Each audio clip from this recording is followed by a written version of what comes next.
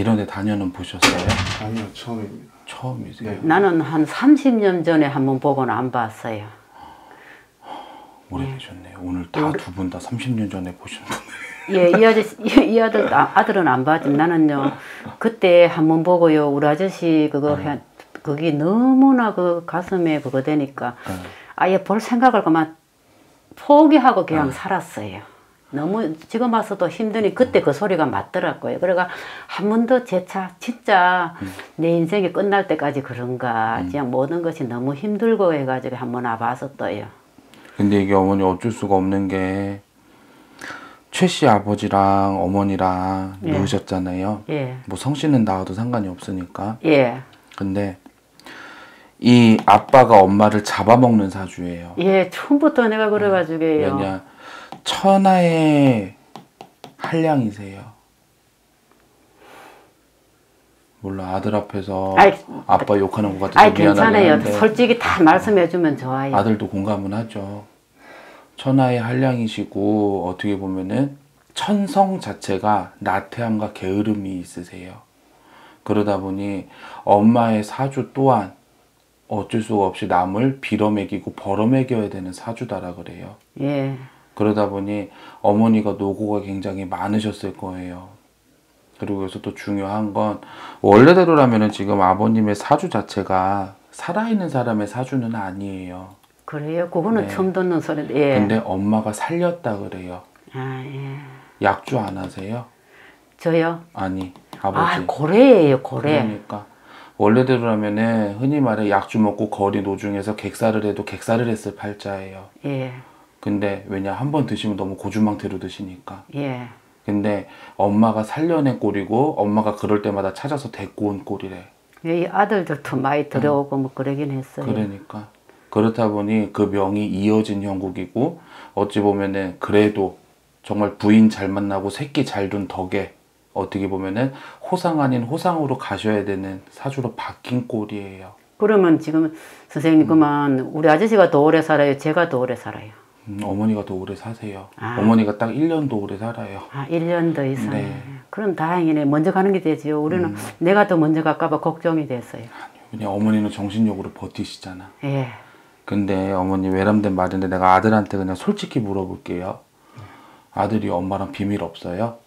네, 네, 그럼 제가 좀 편하게 물어볼게요. 네. 아들이요, 이런 영적인 존재를 좀 믿어요? 솔직히 말씀드리면 한 반반 정도요. 그죠. 네, 네, 근데 우리 예전에는- 할머니 하는 말이 네, 당신 눈에 네. 보인다 그래. 역적인 거기요? 네. 처음 듣는 소리인데 그게 처음 봤으니까. 안 보여요? 네, 안 보입니다. 귀신이 보인다는 소리가 아니라 네, 사람을 놓고 보면 아 이 사람은 저러겠다. 어, 예, 이 생각을 사람은 하는 거. 이러겠다. 아 그래 이 사람 만약에 뭐 친구가 흔히 말해 여자친구를 데리고 왔어. 네, 아야 너무 좋아 이러고 있는데 아, 쟤네 얼마 안 갈 것 같은데 그럼 정말 맞아, 얼마 안 가고 좀. 그리고 뭐 흔히 말해 내가 길거리 지나가는데 신장기 옆했어. 네. 아 저기 오래 안 갈 것 같은데. 그런 생각을 해본 적은 없는가 봐요, 지금. 깊게는 생각을 해본 적은 네, 근데 아들 사주 자체가 남자 치고 네, 예감, 직감, 촉이 빠르다 그래요. 맞아요. 그게 어쩔 수가 없는 게 최씨 집안 자체가 우리처럼 제자가 있어야 되는 집이고 제자가 있었던 집이라 그래요. 흔히 말해 무당을 했던 집이라 그래요. 아, 우리는 어때 그런 거 모르는데. 아, 그렇다 보니 이게 대를 걸쳐서 내려온 꼴이에요. 근데 어머니 제가 하나만 물어볼게요. 예. 원래 이분이 지금 차남이잖아요. 예. 근데 원래는 삼남의 사주라 그러거든요. 삼남이에요? 네. 요예 위에 하나 지웠어요. 그러니까. 예. 그러니까 삼남이 되죠. 예. 원래는 삼남의 사주다라 그래요. 예. 근데 어찌 보면은 예전인지라 옛날인지라 뭐 의학도 발달이 안 됐고 못도 하고 그런 게 있다 보니 어쩔 수 없이 차남의 사주로 둔갑을 해서 태어난 형국인데 살기가 힘들지 않았어요 은근히 힘들었어요. 알지? 대놓고 힘들었지 예. 네, 억압도 받고 나는 이거 하고 싶은데 하지도 못하고 흔히 말해 집안에서조차 밥그릇 싸움 해야 되고 뭐 해야 되고 하다못해 집에 들어와서 내가 편히 쉬어야 되는데 그러지도 못하고 항시 이상하게 생각이 불안하게만 흘러가고. 지대로 했는 게 없지. 근데 아들 나이로 스물여섯 일곱 대라 그래요. 그때 많이 힘들었죠. 네, 그때 정말 많이 힘들었어요. 그죠. 네. 아들이 그때 안 좋은 생각도 했었죠. 조금 흔히 말해 그냥 콱 그냥 뛰어들까 네, 너무 힘들어서 네. 근데 그 고통 잘 이겨냈다 그래요. 근데 어떻게 보면 아들의 사주를 놓고 보면 안쓰러운 게 뭐냐면 그 힘든 역겹 다 이겨냈는데 이상하게도 내가 고생 끝에 낙이 와야 되는데 그러지를 못하고 있다 그래요. 네. 지금 일은 하죠. 예, 이런데 힘들지요.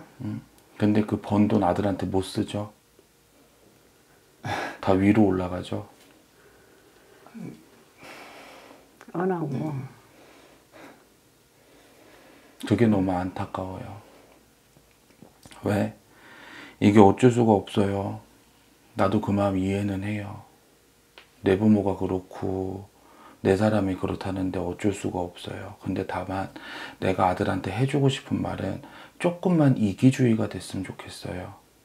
정말로. 본인을 위해서 조금만.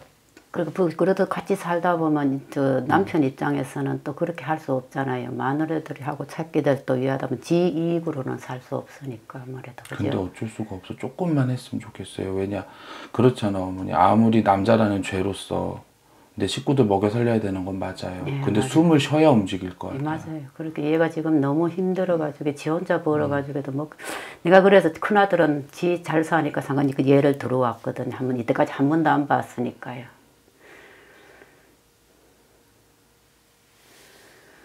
그 제가 숨이 차. 너무 숨이 차요. 그러면 어떻게 했으면 좋아요? 어쩔 수 없어, 어머니. 이거는 뭐, 굿도 필요 없고, 뭣도 필요 없고. 얘는 그러면 장래는 그러면 계속 이렇게 되나요? 더 숨 쉴 기간이 있어지나요?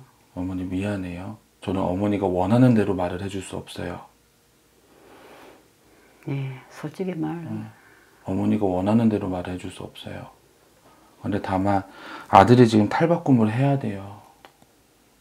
어떻게 해요? 아까 말씀드렸잖아. 조금만 이기주의가 되세요. 좀 뭐든지 매사에 친구 너대다 잠불딱지게 좀 욕심을 아니지. 내라 이 소리예요? 아니요. 어머니가 아들 인생 살아주는 거 아니잖아요. 어머니가 부당 아니잖아요. 왜 어머니가 마음대로 해서 그래요? 예, 맞아. 근데 그 물어보는 거예요. 예. 물어보는 게 아니라 어머니는 계속 지금 아들을 가르치잖아. 내가 아들한테 이기주의가 되라 그랬지. 어머니 뭐 친구도 잘 사귀고 보다 지금 나이가 많았는데 무슨 지금 와서 어머니가 그렇게 잔소리를 해. 예, 맞아요. 죄송해요. 아니에요, 어머니 그거. 어머니 인생이 아니잖아요. 왜? 어머니가 사셨을 때랑 지금은 시대가 달라요. 예, 맞아요. 아들은 그런 게 힘든 거예요, 어머니. 냉정히 말씀드리면. 아, 그래요. 미안해 오늘 뭐 모자지간에 싸울 수도 있고 엄마가 또 오해를 해서 새끼 잡을 수도 있겠지만 난 나오는 말은 해야겠어요. 예, 아들을 어머니 좀 놔줘 이제.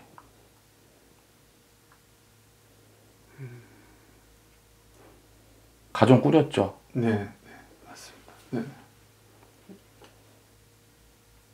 엄마 아들을 좀 놔줘요 이제. 난 얘들 그냥 좀 놔주고 별로 그렇게 참견하고 이런 거 없는데. 참견이 아니라 예, 어머니가 속에 끓고 뭐하고 뭐하고 당연히 내 새끼니까 어머니가 의지를 하는 마음은 당연히 맞아요. 예. 근데 다만 그게 아들한테는 부담이 될 수도 있어요. 아, 예. 그래가 웬만한 건말 음. 안 하고 그냥 그러는데. 어. 그러니까 어머니 그런 말이 있어요. 아무리 내가 힘들어도 새끼한테 전화가 오면은 나 웃고 있어. 아, 예. 말씀 알아들었어요. 예. 그게 부모예요. 어머니. 예, 그게 부모 맞지요. 네. 아들이 어머니 생각이 많은 사람이에요. 예. 그리고 또 하나 겉은 커요. 장정이야. 근데 속이 너무 여려요. 예, 열어요. 그렇다 보니 내가 뱉은 말에 이 사람이 상처받진 않을까 항상 조심해요. 그렇다 보니 혼자 삭히는 사람이에요.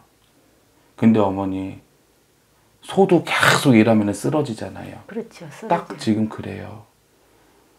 아들 미안하지만 부부 사이 괜찮아요. 아니, 아니요. 난 이상하게 아들이 어디 의지할 데가 없다 그래요. 편하자고 들어가는 집인데 그 집에서도 힘들다 그래요. 네, 네. 솔직히 편치는 않습니다. 그러니까요. 그냥 조금만 이기주의가 되고 조금만 자기 주장 좀 하시고 입 뒀다 뭐해요. 다 싫죠. 솔직히. 네, 음, 그냥 좀 많이 너무 답답하고. 그렇죠. 내 부모지만 엄마도 싫고 내 와이프지만 다 싫고 원래 우리 아드님이 지금 새끼가 둘은 있어야 돼요. 자손이 어떻게 되세요? 아들 하나 있습니다.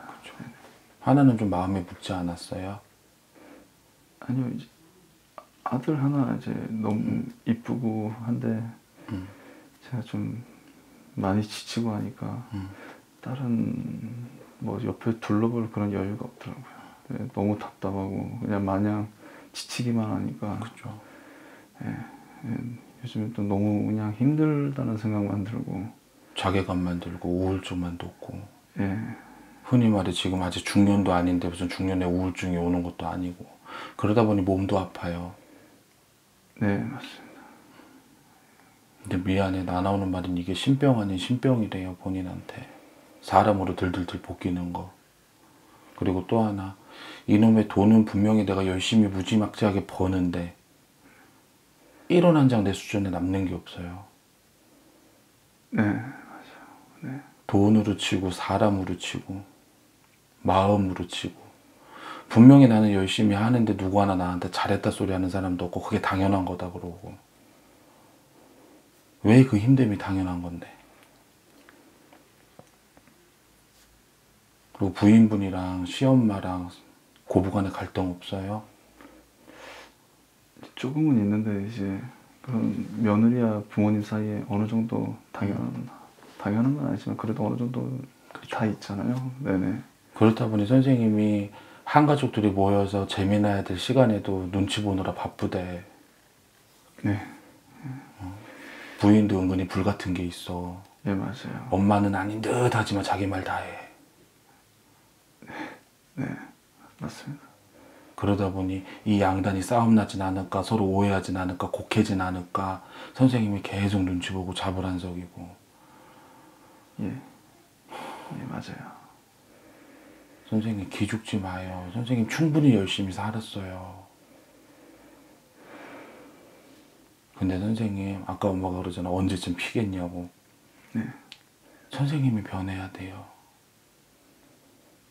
뭐든지 선생님 사람 인생이란 게 그렇잖아요. 당연한 건 없어요.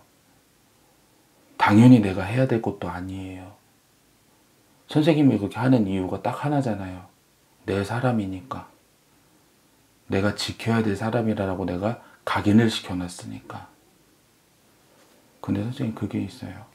막상 내가 지치면은 어떻게 할 건데? 막상 내가 나자빠지면 그 사람도 어떻게 지킬 거야?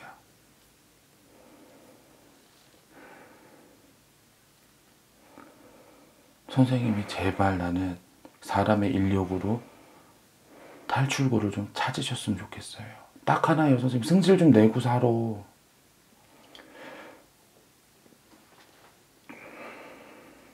승질 내 봤어요? 네 요, 그래도 요즘에는 좀 이렇게 응어리가 내비쳤는지 갑자기 이렇게 화가 좀 올라오고 이렇긴 하더라고요. 네, 그럴 때 승질 좀 내요, 선생님. 네. 제발. 그럼 옆에서도 그런다. 쟤 왜 저래? 뭐 꼬라지 났대? 왜 저래? 네 맞아요. 갑자기 요즘에 이러니까 주변 사람들이 좀 거리를 두고 좀 많이 그러더라고요. 변했다고. 음. 대려 좀 절 욕하는 것 같고 네. 한순간이에요, 근데 그것도. 대려 절 욕하더라고요. 갑자기 변하니까. 네. 그게 선생님, 하, 오늘 내가 왜 그걸 그렇게 했는지 알겠다. 아, 선생님 사주에 명예가 없어요. 그렇다 보니 내 노고를 인정을 못 받아요. 근데 선생님 그 명예는 물론 무당들이 뭐 굿이나 치성이나 부적 이런 걸로 모자란 걸 채워드릴 수는 있겠다만 가장 중요한 건 사람의 인력이에요. 사람의 의지고 사람의 마음이에요. 내가 하겠다 마음 먹고 내가 할 수 있다 마음 먹으면 못할 거 없어요 선생님. 뭐가 못나서 선생님이. 우리 할머니 그러신다. 어? 선생님이 뭐 불알이 없어, 똥꼬가 없어, 뭐가 모자라.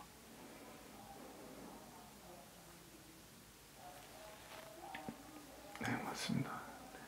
해요, 선생님, 제발. 그래야지 살아요, 선생님. 숨 좀 쉬고 살아요, 제발. 근데 또 웃긴다, 선생님. 직장의 이동수는 따른다면 내가 못 옮겨.